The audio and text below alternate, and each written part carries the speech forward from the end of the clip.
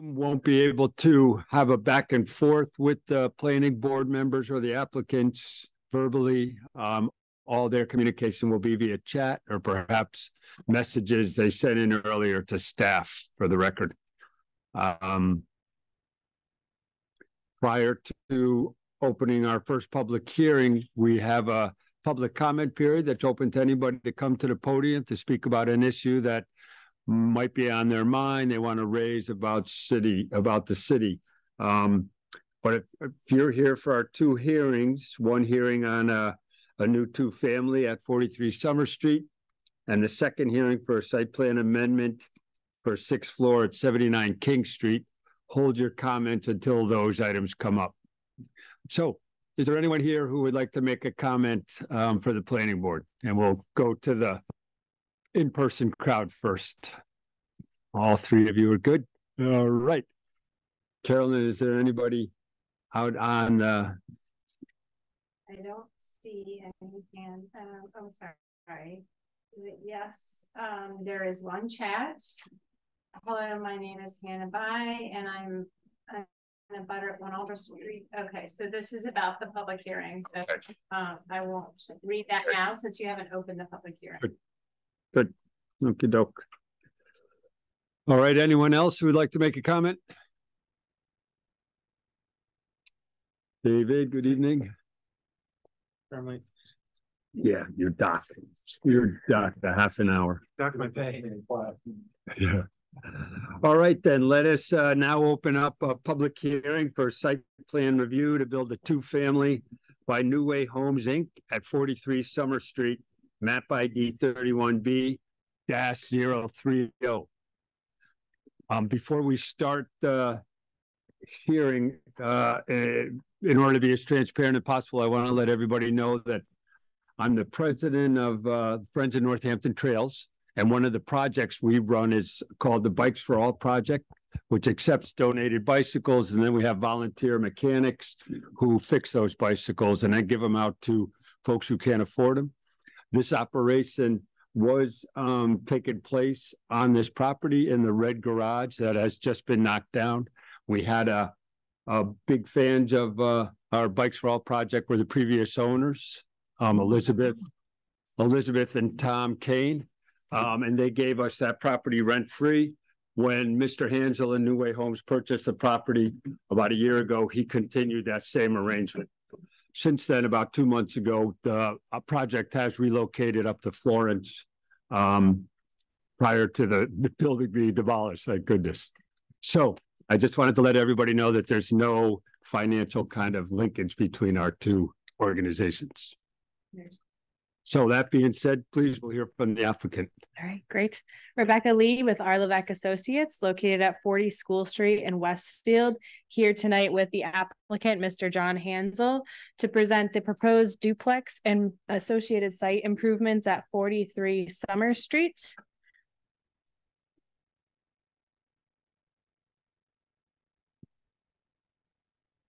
Oh, wait, I need that, let me share screen, sorry. Oh, sorry about that.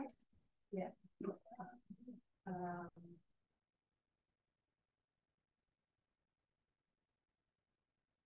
Okay, now you can share.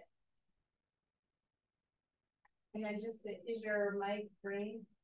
Yes, you can turn it on for me. Thank you. All right. We good? Okay, perfect. So this site is located at the corner of State Street and Summer Street.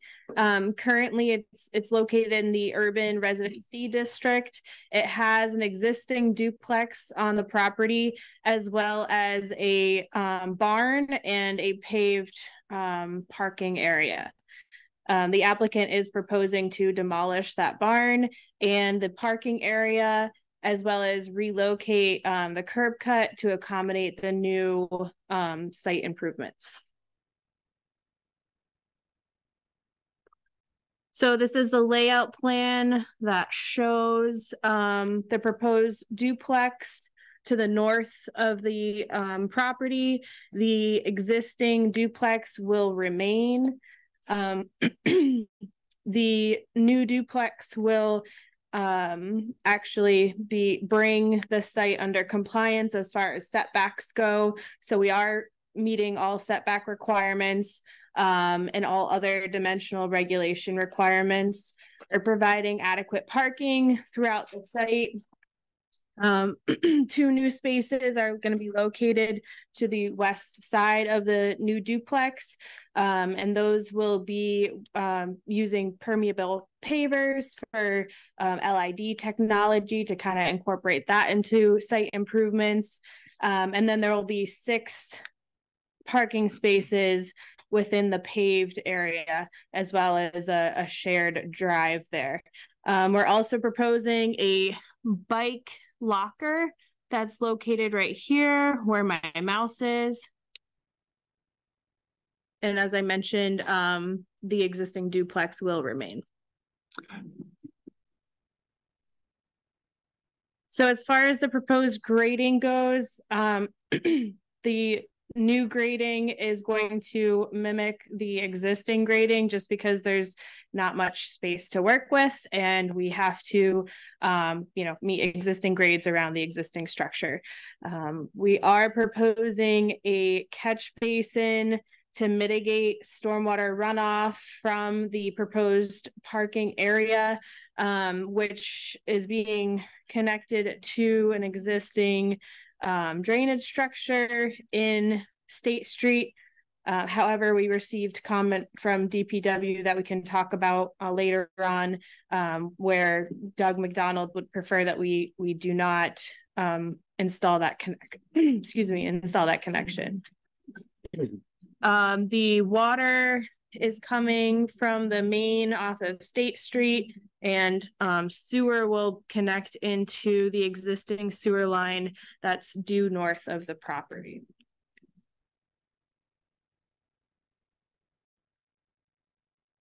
And that summarizes the site plan set. I'll bring up the architecturals for your, Before you leave the site plan. oh, sure, yep. Just tell us about the, uh, the drive, the, uh, entrance to the lot.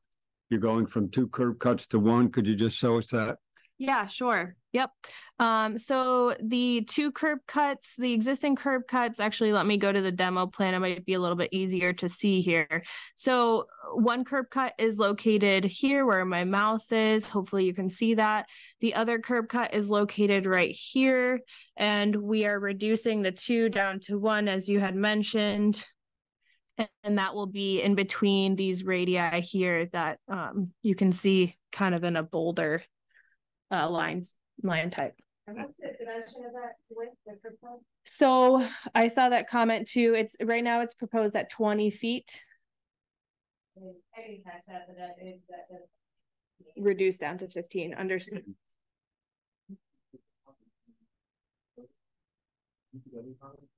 Um, at, yeah. So, so I can, yeah. I didn't have a chance to those. If there's no further questions on the site plan set, I can jump over to the architecturals if that would please the board. Okay, great. So these are just, you know, some typical concepts of what um we're planning on doing. These are the floor plans here. Um, so the idea is to have four bedroom, uh, how many baths? How many baths? Two and a half. Two and a half. There's a covered porch on the front. And then two parking spaces will be on the back end of the, of the building.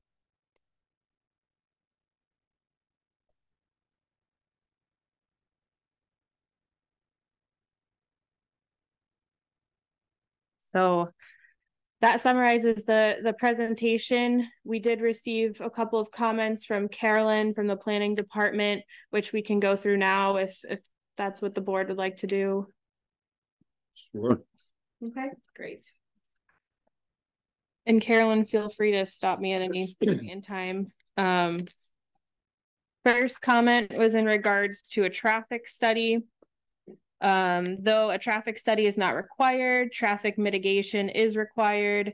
Section eleven point six two needs to be addressed based on the assumption of two additional peak hour trips, one per unit. a payment in lieu of traffic mitigation can be made in the amount of one thousand dollars per unit or a one-time payment of two thousand dollars, and that's understood. Um, second question, site plan requires an upgrade of the sidewalk around the property to cement concrete minimally four feet wide. However, because the city is proposing an upgrade along State Street that will likely include a curb extension at State Street and Summer intersection, the extents of what this project would be required to upgrade would stop short of the intersection on both frontages.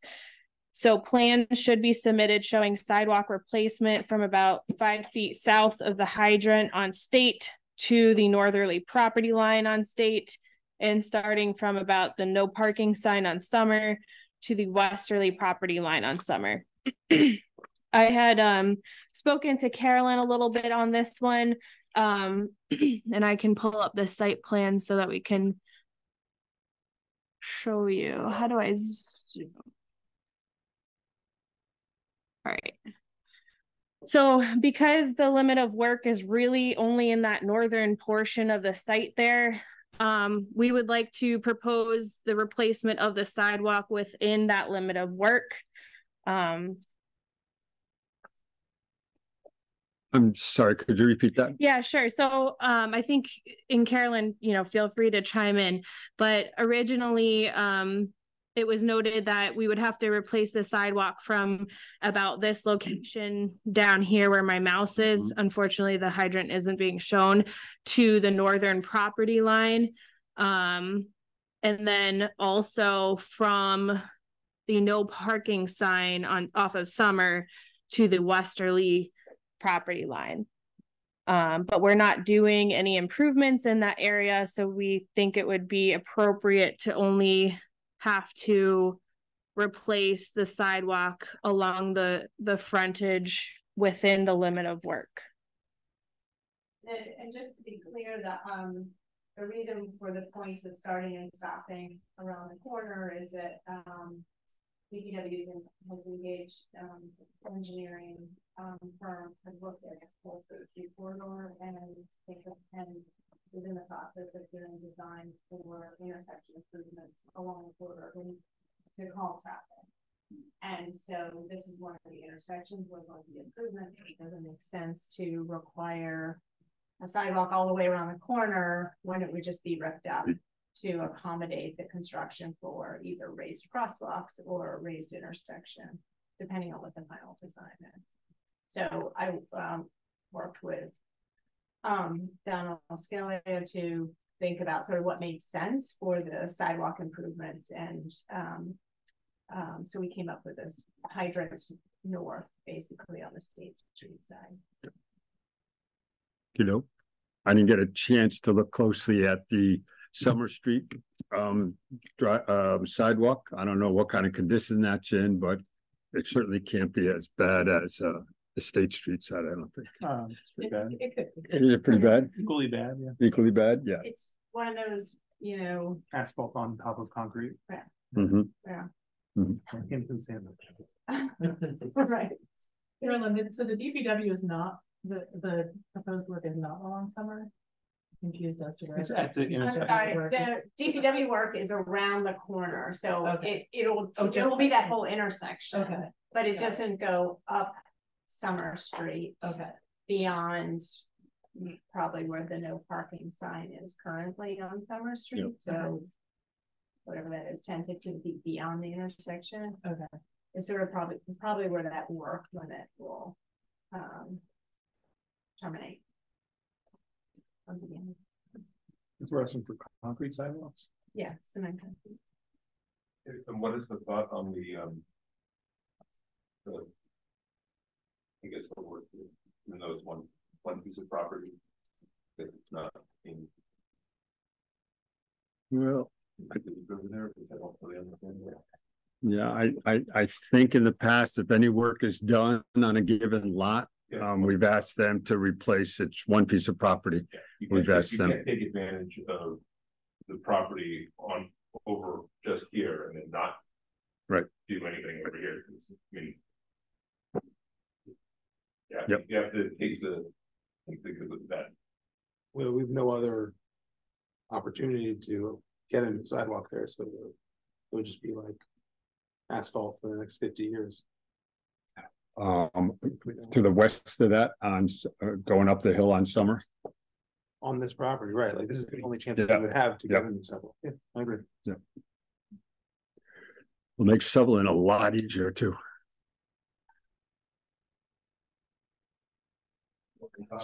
That'll probably be our recommendation then as a board to ask the applicant to, to uh, condition the applicant to. Um, install new sidewalk on all portions of the sidewalk. Other than in the areas noted by the DPW and staff. Okay. Even though it's outside of, The work area, right, we're thinking, we're considering the whole property. I mean, you are taking advantage of the whole property, the value of the property is going up, everything else to be considered part of that. May I comment? Come on up to the, oh yeah, oh, hold on, John, right, we haven't opened up for public comment yet. You want to wait and then we'll ask? Yeah, that's presented. Well, but she should really, yeah. That's the presenter, um. Sure. okay, um, so we'll, we'll let hear John speak to that one. Um, and then moving on to the next comment here. So you have no landscape and no lighting plan. Um, you may have told me that you were only proposing building lights, which is totally appropriate, so that's fine, just confirm. So this is confirmation that there's not gonna be any site lighting, just the typical, you know, building wall pack lighting, and that will all be, you know, in accordance with the regulations. Dark sky compliance and what um, for landscaping, I would expect at least two trees on the State Street side, somewhere given the length of the street frontage and, um, understood. That's not a problem. And then Carolyn, I don't have the DPW comments handy. Do you? Yeah. Okay. Um.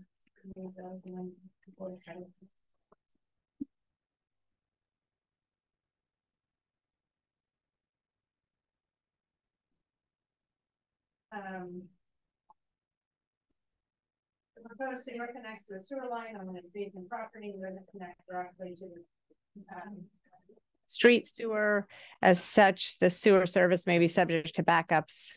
Um, and so then they, um, recommend this, or they, um, state the standard of um, connecting directly to the sewer with a minimum one percent slope. Um, and then, and so that can be taken care of during building permit, um, or pre-building permit review. Um, they noted the, the driveway was wider than the fifteen feet um allowed without approval by the planning board and recommended um fifteen feet. Um the DPW won't allow the drain connection as designed. Um uh, this is the storm drain question with the catch basin. And um plans include notes and details for erosion and sediment control, but the measures have not been included on the site drawings. Construction plans should include specification and location of erosion and sediment control measures in the drawings. And that's it. There's no major trees, no major tree protection, unfortunately, uh, So they just don't want to structure at all, Oh, well, the- not worried about like runoff into the street or anything? there's a reduction in overall impervious cover on the site. And so, and, and no, they're comfortable with um, the way and the fact that they're providing the impervious um, or the pervious pavement in the back. Um, and they were fine with that. Is Pavement part of the reduction in impervious area? Um, If, yes, it partially, yes. If we eliminated that permeable pavers, we would still be less than what was there before, just, you know, as an additional measure. Okay. Um, I was, I was just curious if the site detail shows like an under drain for that permeable pavers, but I don't know where that under drain would be like to.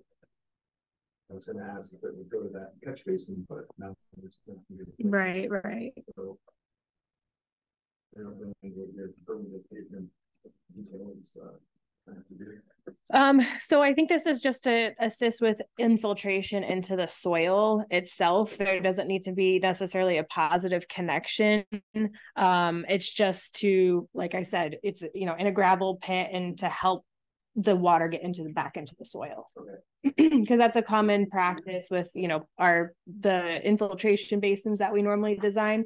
We usually do like an under drain along the bottom of the basin just to help that runoff get into the soil quicker. Yep. It's not Correct. move the water. Convey, right, right.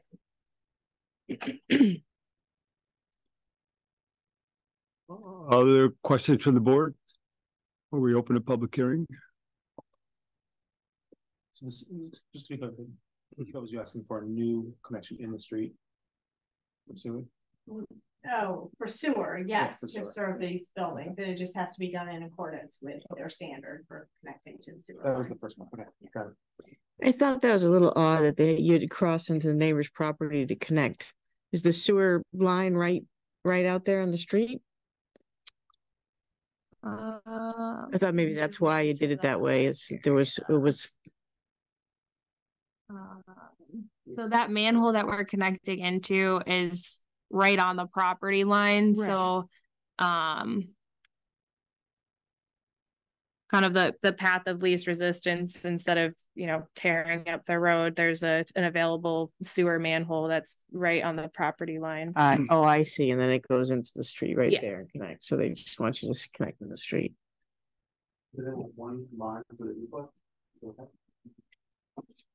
Is there one line for the duplex? One Uh, line for the duplex, or they didn't say? They didn't say, and that has changed at various times, depending on um, whether, I, I think there's, a I don't know, I'm gonna leave that to them.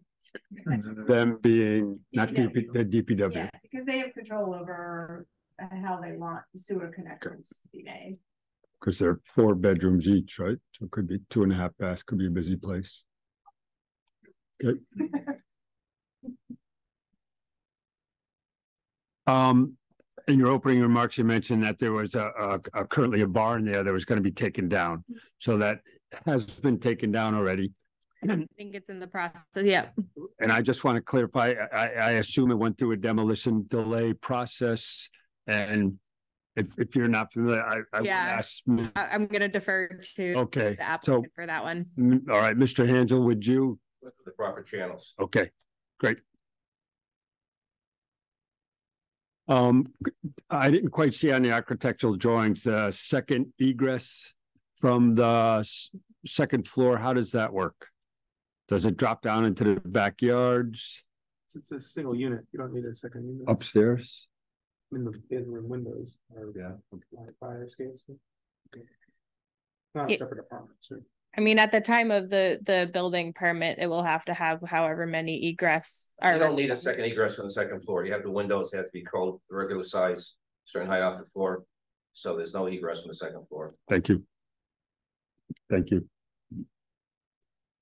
Any other questions? All right, well, why don't we open it up to the public then? Is there anyone in the audience here and the chambers who would like to speak? I understand how the city likes to get everything out of the developer and do sidewalks on both sides, but it gets to the point where that's gonna run twenty-five, thirty thousand dollars. And I understand that I, my belief is the city should take care of its own stuff, but I understand what you want to do. But I'm not going on that side. And it gets to the point where I could just do an A and R on this lot very simply, do a single family by right, not even have to come in front of the board and not have to fix any sidewalks. Do it, That's what I might do. That's what I'm trying to say to you. Do it. That's like the simplest solution. Cause you make it sound like you're doing such a favor to do, let me do a field hole. Hold, hold on, Sam, Sam, hold on. Let's walk through this. So let's be clear. I am doing a thing. I'm glad you see it that way. You should too.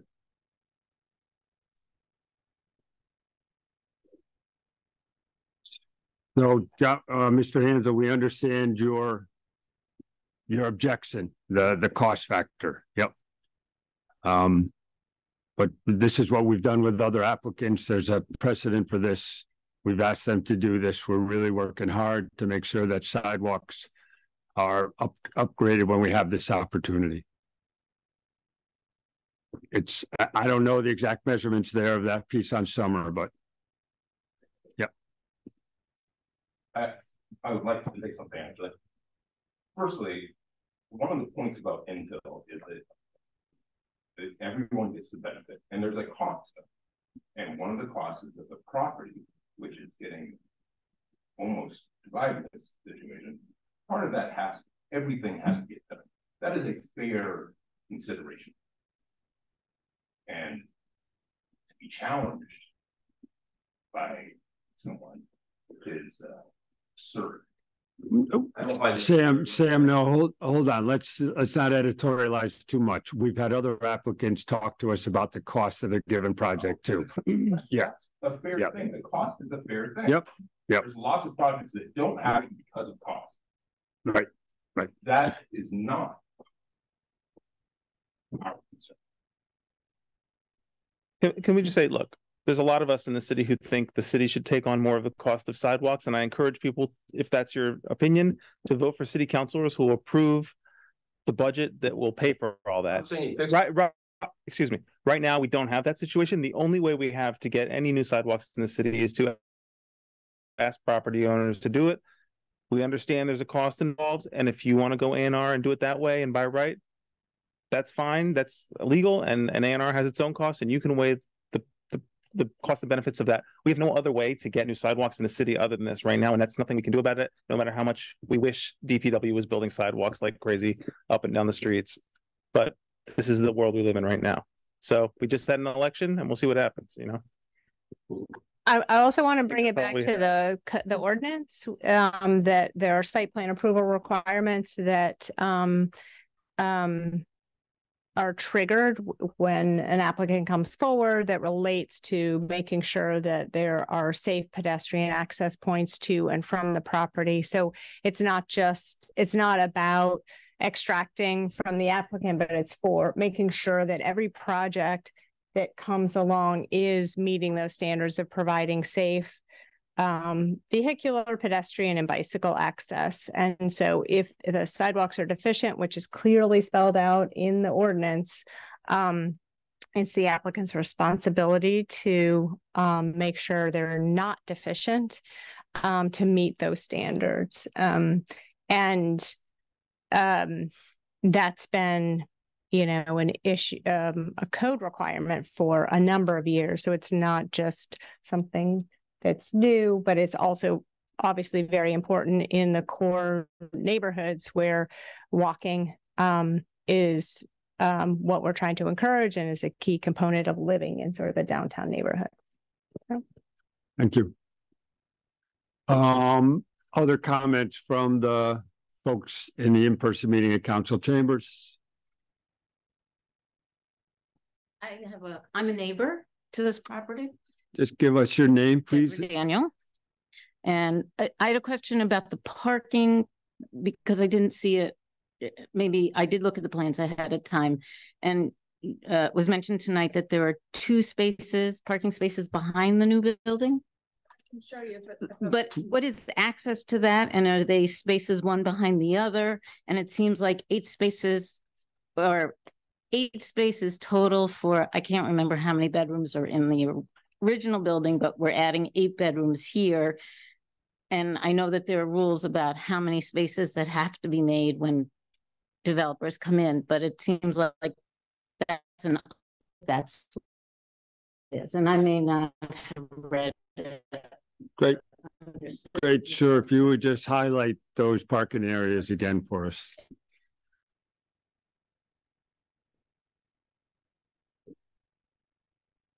So there's gonna be three Yeah, here, three, that, yeah. three here. Oh, I'm, I'll do my mouse. Three Yeah. here, three here, and then two back to back here. Here, Mhm. so. That just seems like an odd access when you have so many unit, or so many bedrooms in this piece of property. It- But in this district, that's all that we're requiring, yeah. And it's pretty common in urban areas to have that um back-to-back parking where you have to negotiate those two parking spaces. Yeah. Okay, Thank you. And any other? And the parking is based on units, not bedrooms. All right, uh, Carolyn, is there anybody in the Zoom portion that, Um, so I'll start with a chat from the beginning. Um, Hannah Bai, hello, my name is Hannah Bai. I'm an abutter at one Aldrich Street. The proposed structure is behind my house. I'm concerned about lighting. Hope the outside lighting will be downward focused and also that there are no motion sensor lights from the outside back or backside of the building. They're very disruptive and would shine into my bedroom window. Also, the houses in this neighborhood are old. Uh, my house was constructed in eighteen seventy. The pounding and banging that went on when the barn was taken down rattled my house to the foundation. And I hope that during construction of the new house, pounding and banging of that magnitude will be kept to a minimum. Thank you. Um, actually, any lights on the front side of the building will shine into my bedroom, not the back side, as I said in my original note. Um, I'm sorry. Okay. So then the last comment by Hannah by also, never mind, I was reading the plan wrong. My house is on the back side. Yep. And that's all the chats that we have. Okay. Beginning, Alright. middle, and end story. Is there any screening from, on this property to the abutting properties proposed? I don't know, our tenants do. this, you. Is there a fence or anything? No, there's no screening. So are we worried about headlights from these new, uh, parking spaces pointing north? well, they, they sign into a large driveway and a barn, a back driveway. They don't come into the abutting house and that area. Okay. Um.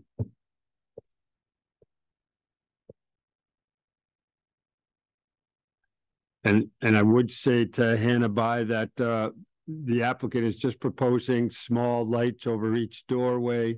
I'm downcasting, they shouldn't be, um. They're shouldn't, they're, they're not allowed to have any light cast beyond the property line. Um. I'm not sure about motion timers, but, uh, that again is something that's certainly up to the applicant, as long as the light isn't cast beyond the property line. The applicant or the homeowner can do as they wish. I believe there's also a property between one Aldrich Street and this property anyway. Yeah. And in terms of the construction noise, that is what it is, you know, they, there's regulations about when they can start construction and when they can end it, but in terms of noise, um, you have to live with it for a little while. And they won't have the heavy machinery in there that they did for the destruction, so I think, um, you won't notice it as much. All right, that was the last chat. All right. So, uh, no, let's hold on a minute, so we don't close public hearing in case we have questions for the applicant. Any other questions?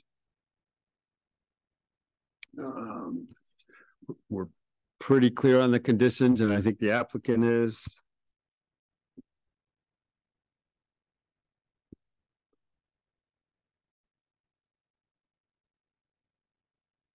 Okay. Motion to close the public hearing?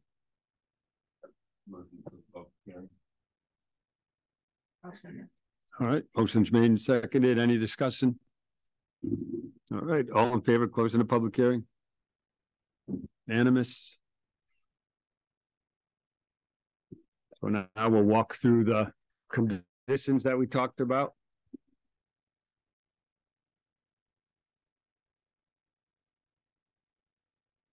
We have the shrink, shrink the, uh. The. or that the- the- fifteen feet. We have a payment um in lieu of a traffic study for traffic mitigation that the applicant understands. Do we need to specify whether it's all at once or it's in two payments? Uh, it's, uh, typically you require before certificate of occupancy, so, um, and it's not typically divided because they get Okay, occupancy. I mean, they could do occupancy for each one. ah, okay, All right. In that way, it could be divided. Um, I think, uh, so I had recommended that uh, related to the. Um. Overall plans that, that revised plans. um, showing detail of the sidewalk replacement uh, along State and Summer be submitted in the revised plans. Those plans should also show an narrower um, driveway opening, the final plans. Um, and, um, there was. Sewer connection? Um, yeah, they could do this, the, and, and the sewer connection, yeah, should be in the revised plans as well. Is there one other plan? item? Uh, shade trees. Uh, okay. The storm drain. Right, now, No, no, it's more main. basin, yeah. What is shade tree supposed to be? Is there a? Is there a tree built there? There's not, but if they, they can plant on the lawn. And uh, the thing about siltation devices is just boilerplate Oh, on erosion control. erosion control. Um. Yes, well, they showed, they described it, so that should be on the plan. Um, right, um. Um, I would also recommend that, um. The maintenance plan for the pervious, uh, permeable pavement is recorded with the decision, so that it carries with the decision for the property owners. um, For that driveway section.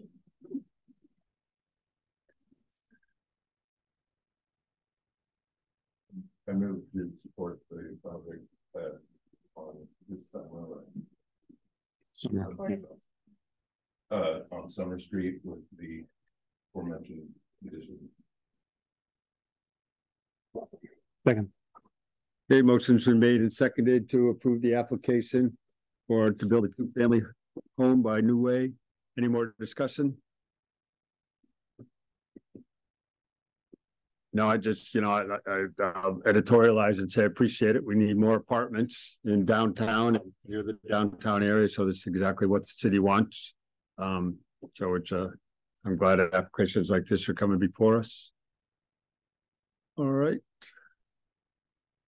If there are no other discussion, all those in favor of approving the application with the conditions mentioned, okay. Motion's made, approved unanimous. Thank you. Thank you both. Good luck with your project.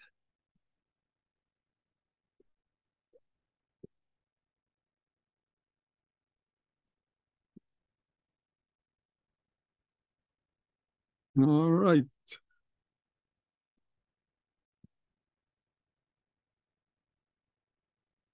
Have a good night.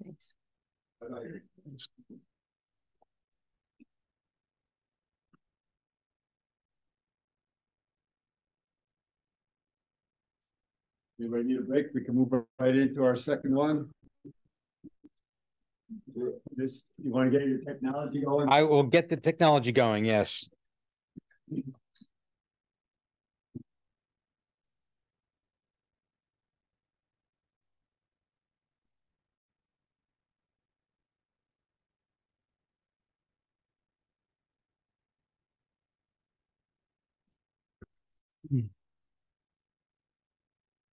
Yeah, do you want to drive? Dude, Sure. your stuff is at the back, obviously. Right. So that's, you can just. I'll just- yeah.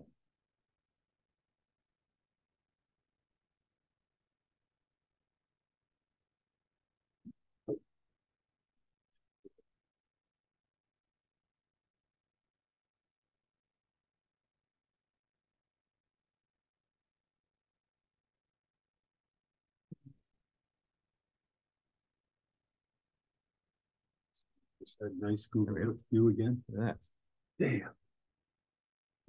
So uh, at this point, we're gonna open up a, a public hearing posted for seven twenty tonight for a major site plan amendment to add a sixth floor by seventy-nine King Street LLC at seventy-nine King Street, map ID thirty-one B twenty-one C. So the applicant is seventy-nine King Street LLC. Thank you. Hello, everyone. I'm David Kubik with BKSK Architects, the architect on the project. Um, we're happy to be back. Um, um, with the drawings today. There are a few things since we um, last saw you that we've kind of reconfigured a little bit on the interior. Um, but mostly what we're here um, to talk about is the addition of the sixth floor and how that meets the newly uh, issued form-based zoning, which at the time when we first submitted wasn't in effect. Uh, so that's really sort of the recap of where we were and where we are today.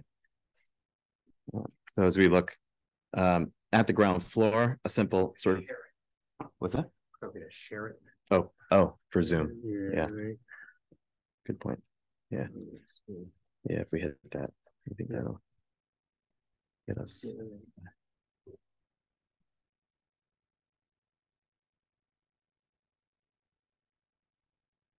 All right, that's better, right?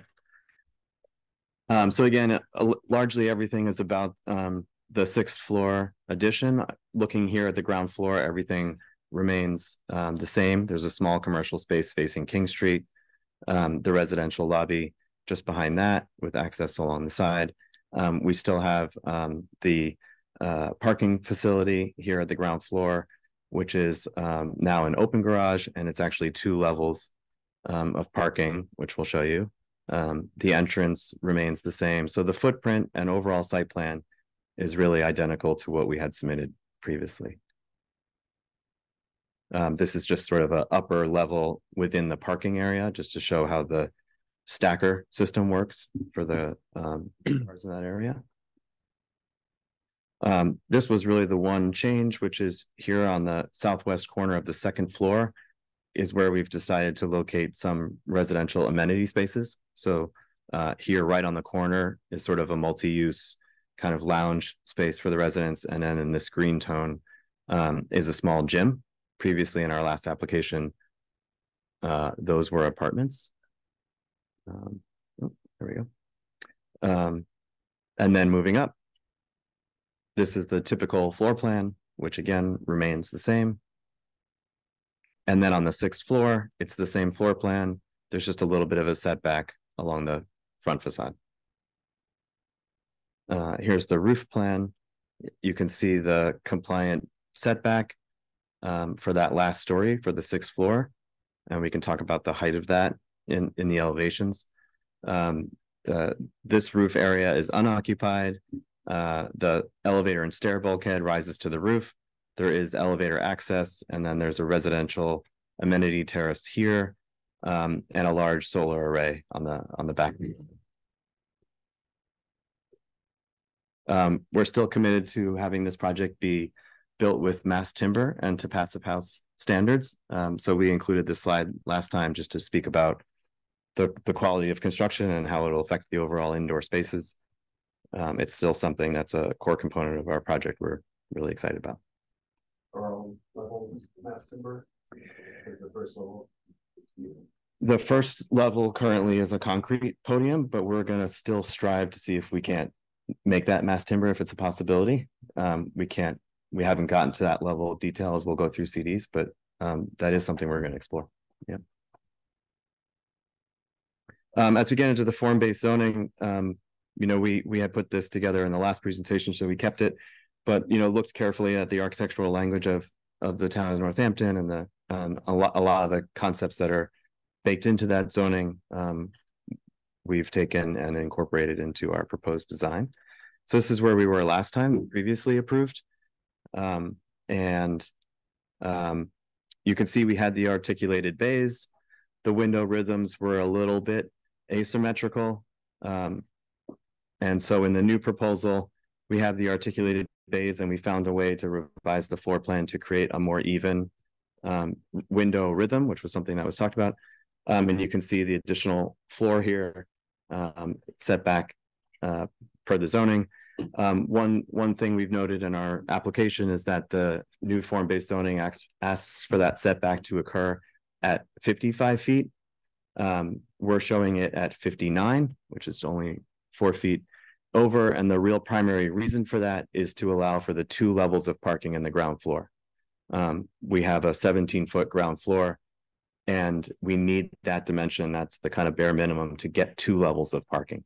So um, we thought that was a good reason to come to you with 59 feet at that setback.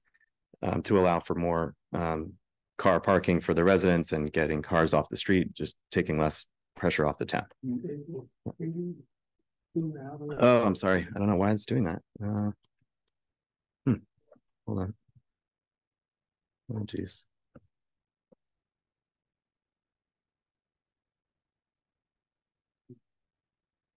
There we go. What is the shadowy area on top of the sixth floor? That's the bulkhead, which is set back. So the middle portion of it is the elevator overrun. And the two lower sides um is where the fire stair comes up and the just the elevator lobby that serves that elevator. Um, we do have some perspectives on the street to show you the visibility of that bulkhead. Um, because it's very set back. So um, we looked at that in view studies so that you can see the impact of what that looks like. And the elevator goes there to allow access to the amenities. for the residents to access that public terrace. And does the zoning speak to a use like that? Yeah. Um, so in terms of height, um, elevator shafts and, um, or bulkheads, I guess, are not counted in the overall height. So height it is goes to the roof. Um, but not those elements that are above the roof. It's like a whole lobby. It's not just like the overrun of the elevator. It's like Well, to the whole- vestibule. Yeah, That's okay. Well, I think if you're gonna provide public amenity spaces, you have to make them accessible. Um, that's the roof plan. If it helps, you can see the, the lobby sitting in front of the two elevator cars, so. It's just as wide as the elevator shaft. We've tried to keep it modest, um, and then the, the fire stair is there. Um, we're equally motivated to keep it as small as possible, so we worked with. Kone Elevator to understand the exact minimum overrun they need for that elevator, and that's, that's what we're. Um, showing in this height. And again, we have some perspectives that I think look a, lot better than a straight on elevation, which no one will ever really see, but. Uh, so this was previously approved. And again, uh, the currently proposed. You can see both on the top left of the slide and the bottom right of the slide, the, the ten foot setback. And, and the open garage. Yeah, so as we've been calling it, sort of the head building is um is clad in brick. And then the tail, if you will, um above the second floor is a um a cement board with sort of a warm red tone to it. And then that ground floor is in brick, um cladding the open garage area. So speaking of materials, just to, um, I noted this in staff report. Back in, when I was in twenty twenty-one, that, Oh. um, this was approved, it went to both Central Business Architecture and the planning board. Um, Central Business Architecture has, uh, more purview and jurisdiction over material. And, um, um, looks towards creating, um, using the brick palette basically on um commercial buildings. It's not required, but it's um they certainly require more natural materials for the front building and and sort of what I think that's when they started um down this path. Um now it's under planning board jurisdiction. Planning board doesn't deal in materials per se. Um so the, it's still being proposed as, as brick for that front building, but again, it, or the front sort of massing. Um. The. Um. But it's common that there are different materials in, um, the projects that both Central Business Architecture review and planning board reviews for the front, and then materials change towards the rear, because it's really what's front and center and visible from Main Street or Pleasant Street or the other side street.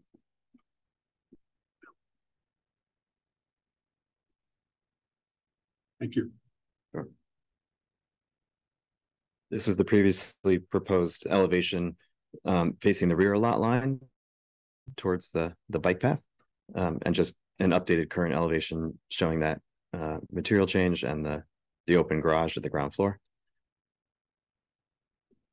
Um, and then just two kind of axonometric views, just to show the project kind of overall.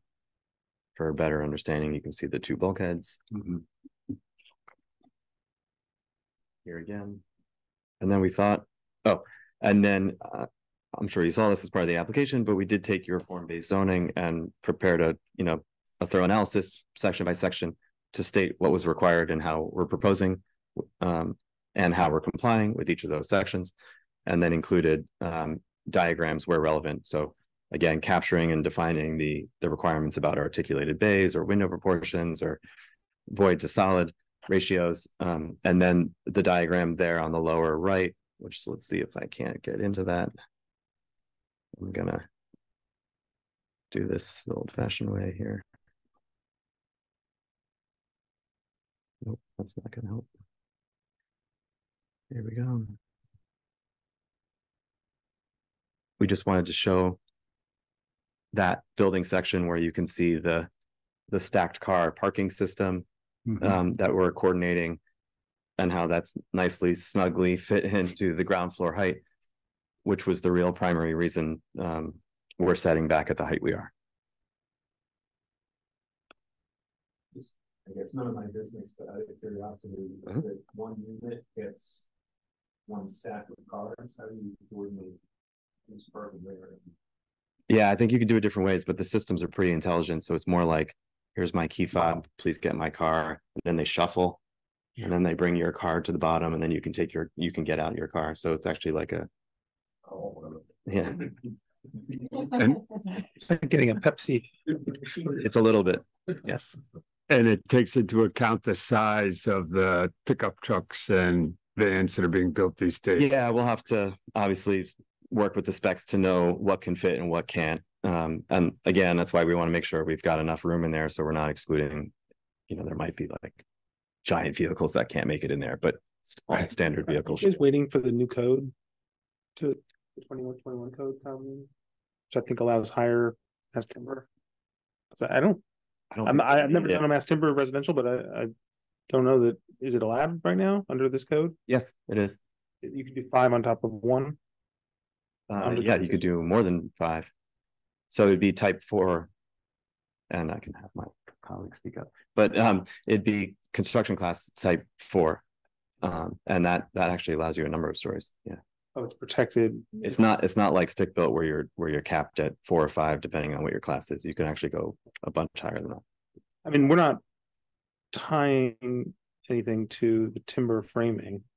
No, I don't think it has anything to do with zoning. It was No, more but just a, right, but if you did anecdote. switch, there may be dimensional things that changed based on the, I mean, you could come back, I guess, at that point, if well, you. there's also interesting, I thought, and uh, commendable that you had a ten foot floor to floor minimum for the upper floors. Um, which is more than enough space to accommodate any mass timber solution, so we wouldn't be pumping it up unnecessarily for.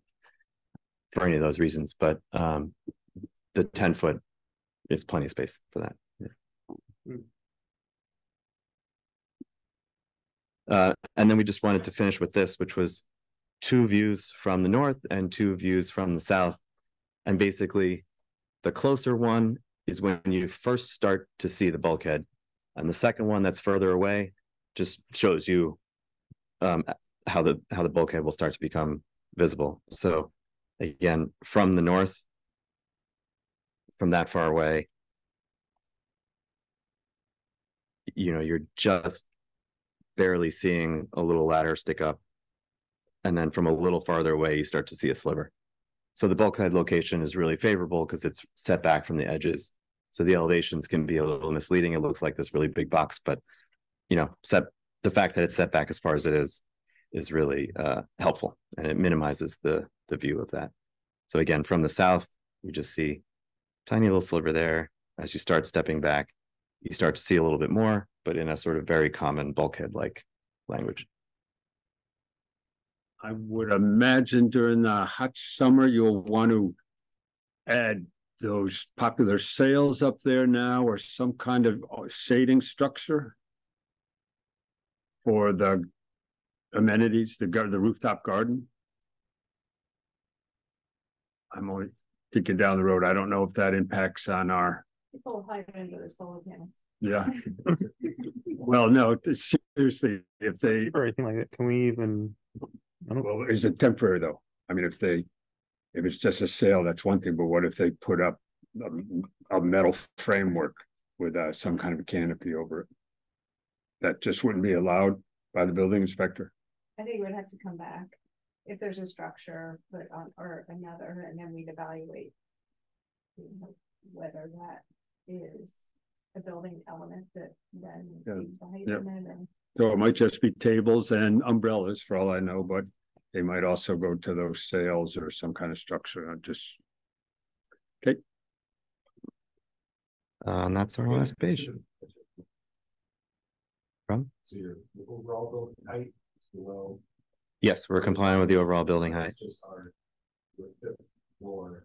It's that initial fifth floor setback. 45. Yeah, we're fifty-nine instead of fifty-five. And again, all driven because we're trying to provide that parking. That would be a waiver from the guide from the holidays code. Um, because it's a step back, it's not a height.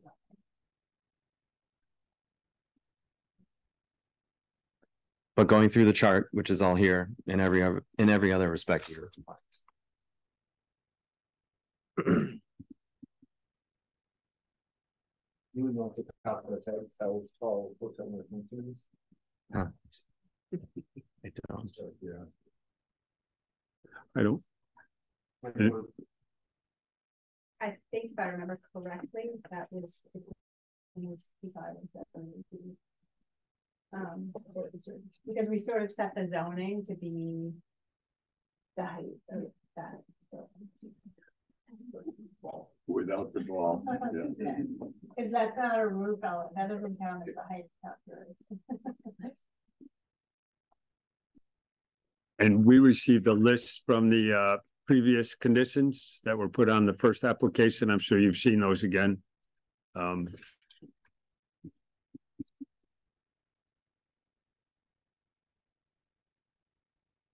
There, there was a little uh inconsistency, Carolyn, in your staff recommendation.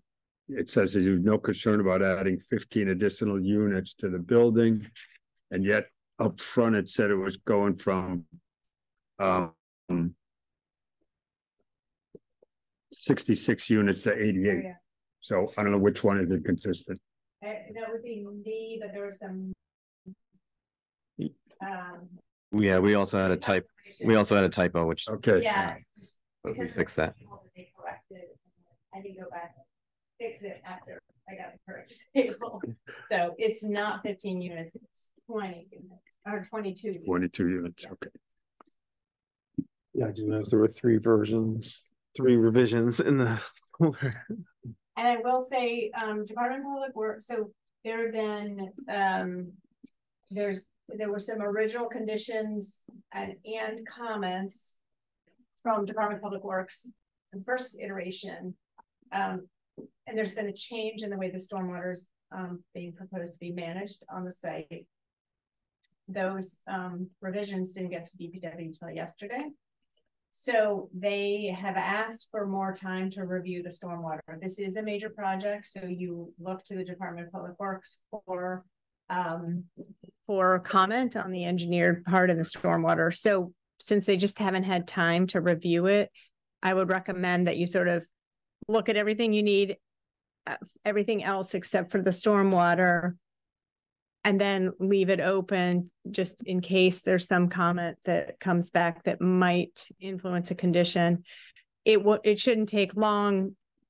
DPW doesn't see any red flags. It's just they haven't had a chance to review it. So you're recommending we continue it then for two weeks? Yeah. Just Or well, Time, because of the holiday, we're not coming in two weeks, but um December twelfth, I think it is. the applicant understands that, they're not ready to throw a shovel in the ground on Thanksgiving. December fourteenth. Yeah, It's understood. Um, so we're increasing the parking capacity of the building? Uh, no, that, that parking facility remains the same. It was always that height and, and that, in that space in that building. But the capacity of the cars, the reworking, it's gonna be the same amount of cars that you figured, or you're adding because of the new 20 20 spaces, you're providing more room for the cars? We were always, um, the parking count obviously is a flexible thing with the units as we moved around the amenity space. So there wasn't any sort of hard and fast rule about exactly how many spaces we were trying to provide as it matched up to the units. We were just trying to provide as many as we could. Um, so the parking count remains the same as it was previously, because that's just what fits. All right, well, the reason I'm asking is that we, at our first hearing, we talked a little bit about the uh providing ample parking for bicycles, and I know a lot has been made about Yep. the residents, um, and so and we thought perhaps the original count for the bicycle parking and the covered parking was small. I don't know if you've looked at that and if you have the room to increase that at all. Um, I have to try to remember exactly how it was proposed last time. There were, I think there were, there were 32, 32, 34. I forget exactly how many parking spaces in that detached sort of Back here. standalone building behind the, behind the larger structure, behind the residential building, that sort of parklet area.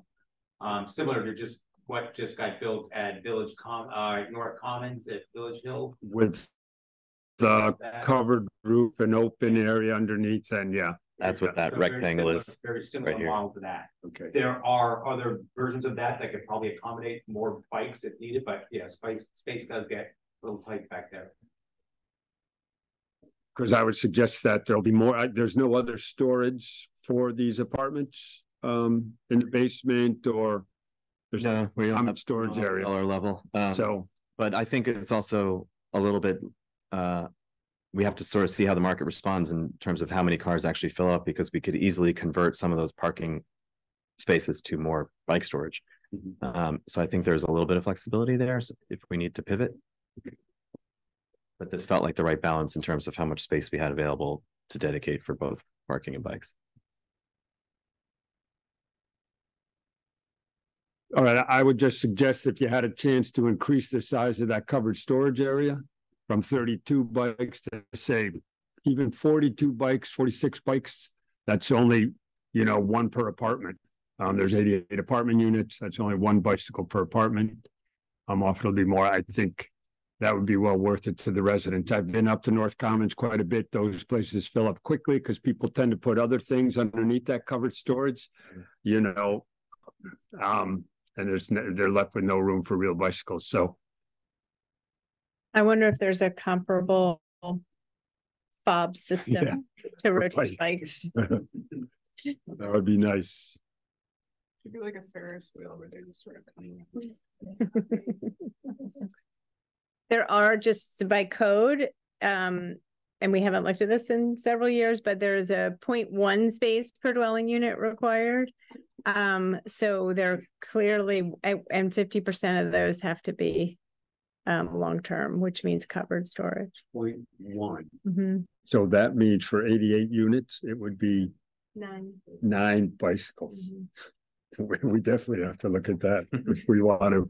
But I, I mean, uh, to your point, though, I think which is probably what you were getting at is there are fewer cars per, there's not a space for parking, one car per unit. Hopefully folks would have bicycles, so you won't have that opportunity to have that um gap filled with.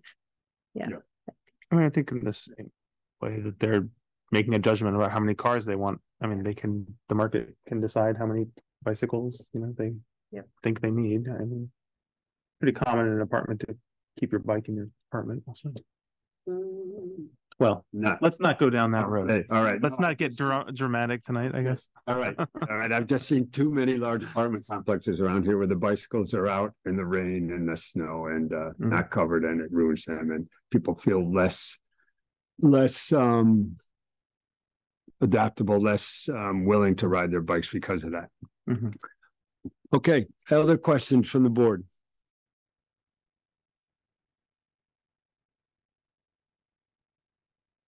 All right, I'd like to move that we continue this public hearing to uh December fourteenth. At seven oh five P M. Four. Seven oh four. Seven oh four P M.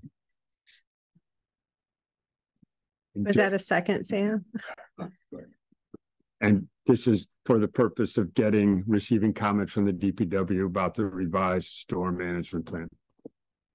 We want the- we want the comments by seven oh three. Probably when we'll get them. So the only thing we're adding to the existing conditions is language around the waiver of the height on the setback of the sixth floor. We can decide that next time. right? Yeah, but I, That's so far, right? Yeah. so far that's, Carolyn, can I just ask where that fifty-five foot? Why fifty-five feet as opposed to fifty-nine feet? Where did that number come from in the code? Um. It came, um, because in the urban residential C district, which is, um, the one on the edge of central business, the height. Um, allowances there are fifty-five feet. And so it was thinking about what happens when you have a, a structure built at the edge of this side street district. Um, and creating um, the first fifty-five feet, which is the same that's allowed in urban residential C, and then step that back at fifty-five feet on, so that it um, doesn't feel like it's, you know, seventy feet fully on that street front. Yeah. And to clarify, we're not abutting urban residential. That's right. Project. Exactly. Great, so. The motion's been made and seconded to continue the hearing until December fourteenth at seven oh four. Should we be taking public comment now so that if there are concerns, they can get addressed before next? time? Didn't we already do that? Did- I don't think so. Oh, because hearing- Yeah, yep, yep. So would you mind if we hold the motion for a while? Table your motion, that sounds great. Robert Rules of Order. Um, so at this point, we'll open it up for the public. Is there anybody in council chambers here who would like to speak to this application? Hearing none, we'll move to the uh, the Zoom room. Is there anyone virtually attending who would like to chat with staff? No. Nobody at this point. Very good. Seems like all the abutters are happy with your plans. So, I'd Um, like to move to untable my move. okay, It's already seconded. But considered untabled. Second. Okay, so people will be able to ask, come to the public comment on December fourteenth and comment on the application if they want. The public hearing is still open. All right, all those in favor of uh, uh, moving our hearing till December fourteenth? Continuing it? All right, that's unanimous. Thank you very much. Thank you. Appreciate it.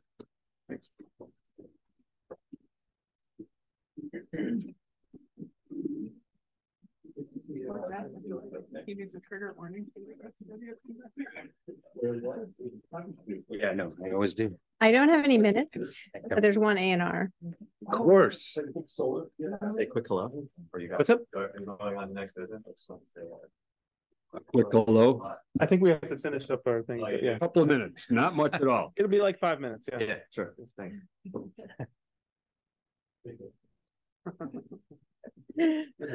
From the city, from the big city. Open parking lot, no one's ever in it. Carolyn knows. What? What's the giant parking lot Right next, next to this lot, next to that? Catholic The church. church. No, it's solar. Oh, other side. it's Whalen Insurance. They just have like the largest unused. The, um, I should have asked this during public comment, but did the, the fire department look at this again? For the height and the extra floor? We have like a ladder truck that goes that high. It's coming, right? Um, I have a question about this. We're, I forget what the setback, is. the side setback is like five feet or something, Yeah. but I, I know it's not a zoning thing, it's a building code thing of lot line windows. Yeah. It's all legal, there's nothing next to it. And I think it's three, you can go up to three feet with residential, like if you're further than three. Yeah. But like, what would be the process? Like, say they were three, two and a half feet, like it would be legal from zoning. But then if like Goggins wanted to build like the same building next door, there would be like. A lot line, you suddenly create a lot line issue. They would just deal with it with lawsuits basically and like figure it out privately.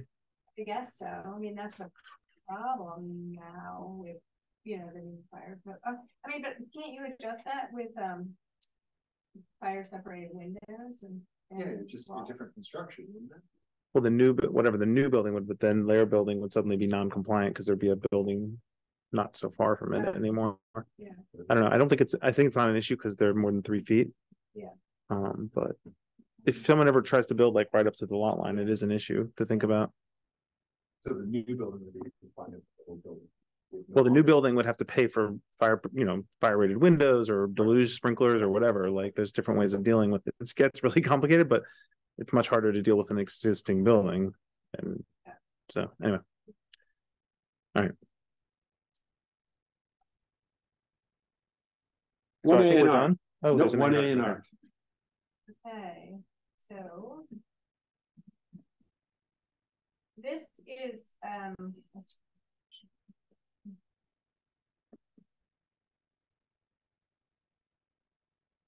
This is out on Ryan Road.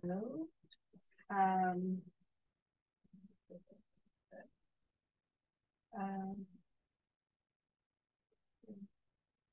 Um. hold on. Long lots at Ryan Road. Um, yeah, I need to, so here we go, Ryan Road, so these, um, neither of these lots are conforming, if you see, there's this, this is uh, sort of an old. Um, flag lot, um. Technically with twenty feet of width there. So really what they're doing is they're, um, just swapping the rear lot portion, so, um, to give more land to, um. Um, this parcel and um just re-segmenting the back um lot line. So it's the same property owner, they're just doing a swap in the rear. Um, and they will, there still will be non-conformities related to this multiple and this parcel. But there's so much land at the back that they're just, they want to add some to make it less non-conform, make this lot less non-conform. God bless them. I move, we- Parcel in the News. I move we endorse the ANR. Motion's been made and seconded to endorse the A and R on Ryan Road. Any discussion? All those in favor? Aye. All right. Motion's been made to adjourn at uh, eight fifteen, early birds, second. All those in favor?